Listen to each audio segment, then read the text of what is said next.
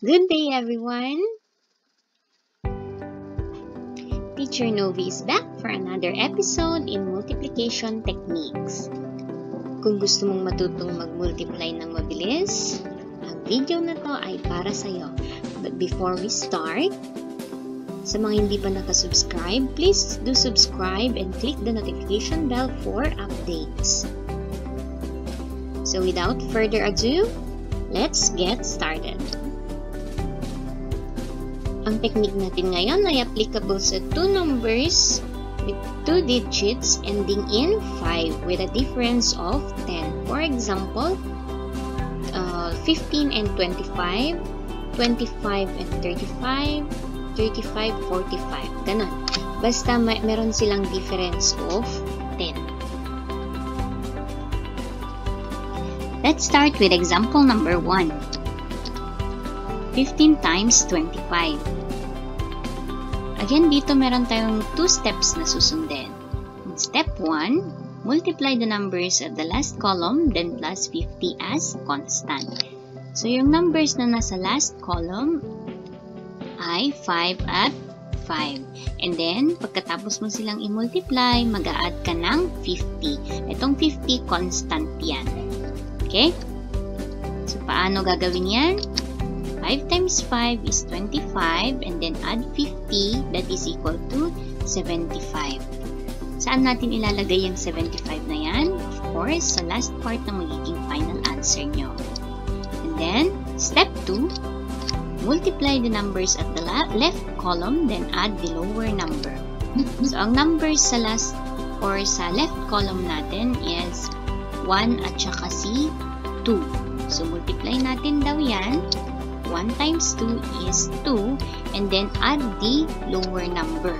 So, ang lower number dito sa left ay si 1. Kaya siya ay i-add natin kay 2. 2 plus 1 is equal to 3. So, si 3 naman ilalagay natin sa first part ng magiging final answer. Kaya 15 times 25, calculating mentally, that is equal to 375. Nakuha ba? Okay, so let's proceed to the next example. 45 times 55. Ulitin natin ang step 1. Multiply the numbers at the last column, then plus 50 again. Okay, so 5 times 5 is equal to 25, then plus 50 as constant, then it is equal to 75. So, ulit yung 75, ilalagay natin sa last part ng magiging final answer natin. And then, step 2, i-multiply natin yung nasa left column. And then, i-add natin yung lower number. So, 4 times 5 is 20 plus the lower number which is 4. Kaya 20 plus 4 ay 24. Ngayon, si 24 ilalagay natin sa first part ng magiging final answer natin. So, ang sagot ng 45 times 55 is 2,475. Diba napakadali? Last example, before yung activity natin. Example number 3, 85 times 95. Step 1, 5 times 5 is 25 plus 50. Again, it is 75. And then, write your answer. Then step 2, 8 times 9. The numbers on the left. 8 times 9 is 72 plus the lower number which is 8. 72 plus 8 is equal to 80. Yung 80 ilalagay na natin sa first part ng final answer natin. Sagot ng 85 times 95 ay 8,075. Nagets? Mahusay. Ngayon, kung naintindihan mo yung examples from 1 to 3, ready ka na para sa short activity natin. Okay? So, let's train your brain. Give you 10 seconds for each problem. And then after 10 seconds, check natin kung tama yung sagot natin. Okay? Pero dito, gamitin ang utak, huwag ang calculator. Ready na ba kayo? Ready na, let's start. Number 1.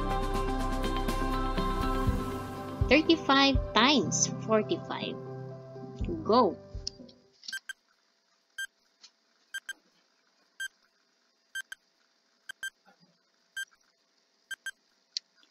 Final answer? Ano ang sagot ninyo? Tignan natin kung parehas. The answer is 1,575. By the way, anong napansin nyo sa last uh, digits ng final answers natin? Tama! It always ends with 75. Kasi nga, fix itong last digit natin. Paano naging 1,575 ang sagot natin? Okay? Kahit hindi mo na yan i-compute, itong uh, last part ng sagot, itong last two digits ng sagot natin, alam agad natin na 75 yan. Kasi nga, fix na ito. Okay? So, 5 times 5 is 25 plus 50 it is equal to 75. And then, 3 times 4 is 12 plus the lower number which is 3, kaya 15. 35 times 45 is 1,575.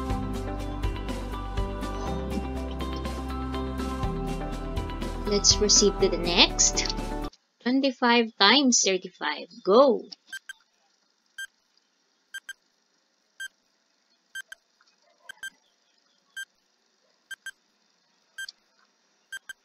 Final answer is 875.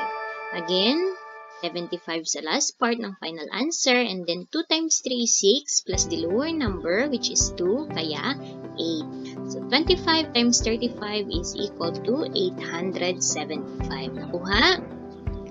Okay, let's proceed to the next. 55 times 65. 10 seconds starts now.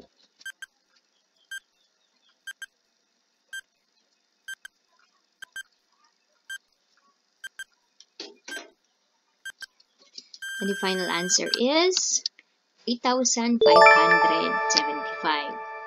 So again, 75 dito. And then, 5 times 6 is 30 plus the lower number which is 5, kaya 35. 55 times 65 is equal to 3,575.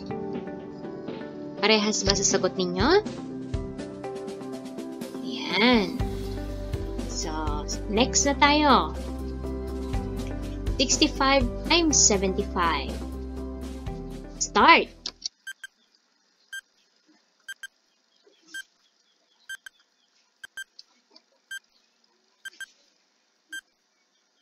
And the answer is 4,875. How? So again, nandyan na naman si 75. 6 times 7 is equal to 42 plus 6 is 48. 65 times 75 solving mentally without using your calculator is 4,875. Kuha? Okay. Then, let's proceed.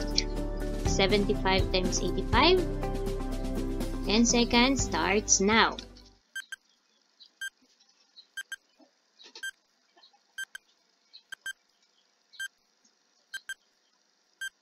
Okay, what is your answer? Tignan natin kung parehas. It's 6,375. So, 7 times 8 is 56, plus 7 is 63. So, 75 times 85 is 6,375. Ilan ang nakuha mong score? A-perfect ba? Sa mga nakakuha ng perfect score, good job! Sa mga hindi naman nakakuha ng perfect score, ulitin mong panoorin ang video na ito. Malay mo next time, uh, pag inulit mo yung activity na to or quiz na ito, map-perfect mo na. Okay? So, huwag mawalan ng pag-asa. Try and try. Practice makes perfect, sabi nga nila. So, again, congratulations for job well. Thank you, thank you for listening and watching this video. Please don't forget to like, subscribe, and click the notification bell for updates. So, thank you again.